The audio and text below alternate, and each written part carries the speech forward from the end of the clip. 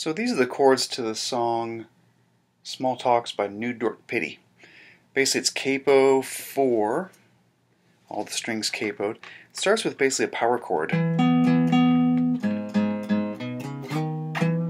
So it looks like the 12th fret because it's a double dot, but it's actually the 8th fret counting from the capo.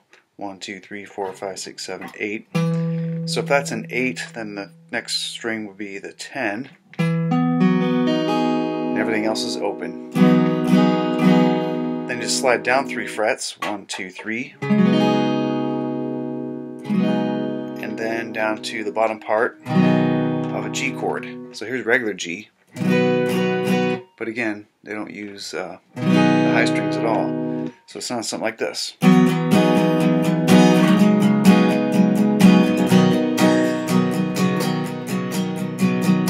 That little trick of taking the first finger off and putting it down, I didn't write that in the song as far as the chords go, but it's just a little trick you can do.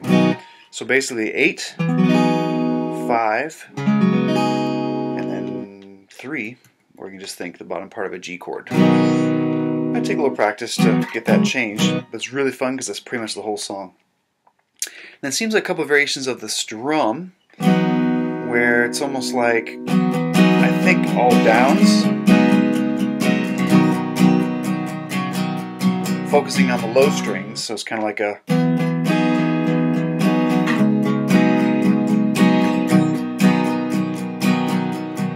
and then during the chorus becomes more of a strum.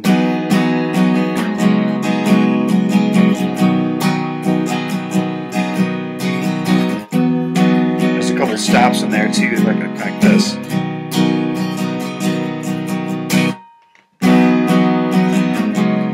Literally the whole song, I'm pretty sure. Except at the very end, she goes um, just back and forth between these two chords.